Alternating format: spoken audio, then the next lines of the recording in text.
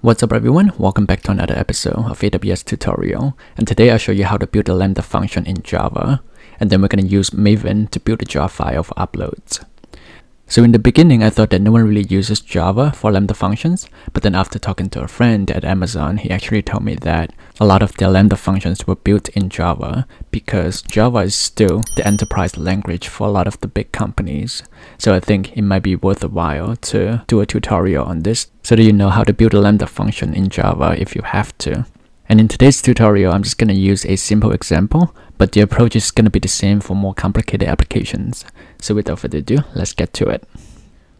Alright, so right now I'm on the homepage of the AWS console, and step number one is to create a Lambda function that uses Java. So I'm going to type in Lambda, and then hit create. Give it a name, I'll just call it my Java Lambda.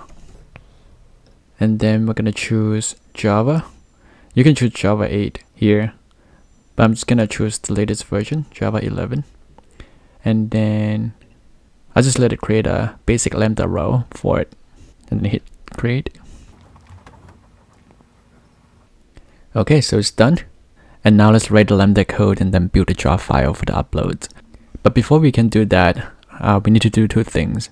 Uh, one is that we need to install Java in our machine, obviously. And then the other thing is that you need to install Maven in your machine as well. Uh, for Mac users, you can just do something like brew install Maven. Uh, that's pretty simple. But for Windows users, you can follow the instruction on this page. Right now, alright, so right now we have IntelliJ open, and that's the IDE that we're going to use for the project. And if you don't have that installed in your machine, you can just go to the home page and download that accordingly. So what I'm going to do here is we're going to create a new project.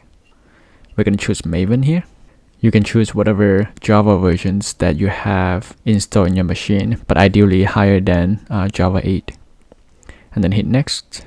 And then choose the location that you want to save your project to. And then we're going to give it a name.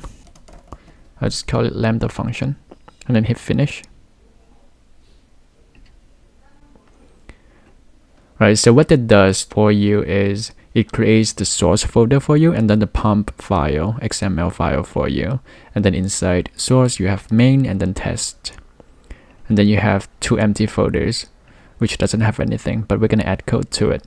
But the first thing we're going to do is we're going to add our POM file so that we have all the dependencies that we want. Okay, so the first thing that we're going to do is we're going to add a properties tag And then inside here, we're going to specify the Maven version. I have this written down before already, so I'm just going to copy and paste it here. And then next, we're going to define the dependencies that we need for our Lambda function. So dependencies, and then the dependency that we need is this. So this library right here basically provides all the basic functionalities that we need for a Lambda function using Java. And then after dependencies, we're going to have a build tag and then inside that we're gonna have a plugins tag. And then the plugin that we're gonna add is this. And that's what we use to compile the uh, the jar file for the upload. Okay so that is it for the POM file. And then inside our main class we are going to create a new package. Let's just call it handler. And that is going to be the entry point for your lambda function and if you need to use other services you can just like create another package called service or something like that. And then inside our handler package we're going to create a class. We just call it lambda handler. And then inside our lambda handler we are going to have a public function that returns a string. And and the function name is called handle request that takes in a string as a input and then it takes in a context as another parameter. And then we can do option enter for the import. So in here you would have different options. Make sure that you choose the right one. Oh it doesn't have it yet so I'm gonna refresh my Maven project. So hit it again and make sure that you choose the AWS Lambda function runtime context. That's the right one. And then in here, we are just going to use the context to get the logger. and then we're gonna log out something like user input and then plus the input and then we're gonna return a string um, let's just call it hello and return whatever the input is. So obviously for your lambda function you're gonna have a more complicated things in here. Uh, for example you can define services in here and then you can just call the services here to do things that you want. But I think this is sufficient for our simple case. And then we're gonna open terminal because we need to build the jar file and we're gonna do mvn that stands for maven.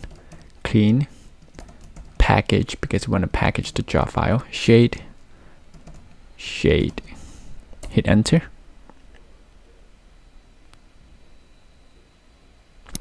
Alright, so it's successful. And it builds a target folder. And inside the target folder, that is our jar file, the first one. And that's what we're going to upload to our Lambda function for execution. And now let's go back to the Lambda console. So the first thing that we have to do is under runtime setting, in here you see that handler, it has a random or hello world example handlers here we need to change that to match with what we have in our handler class. So I'm going to hit edit. For that, we have to choose handler. That's the package name. And then for the class name, we are going to do lambda handler. And that is the method name, which is the same as what we define here, which is fine. And then hit save. And now it's ready to be tested. So I'm gonna hit test. My test events. Remember in our function is expecting to take in a string as an input. So we're gonna do something like Felix. Hit test. That's an error. Let's see what happened. Class not found. Oh, duh, we did not upload a jar file. Let's do that. So hit code upload the thing is that target and the first one hit open hit upload okay successful and now let's go back to test hit test again it's successful and it should return something like hello felix Alright, this is it everyone. I hope you have learned something and if you like this video, I hope you can give it a thumbs up and I'll see you in the next video.